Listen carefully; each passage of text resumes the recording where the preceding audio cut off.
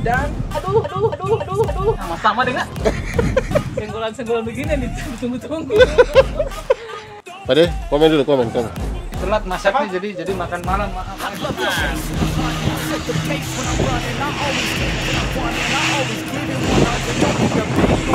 Jadi setelah menempuh jarak kurang lebih 20 mil dan waktu tempuh 5 jam kurang lebih.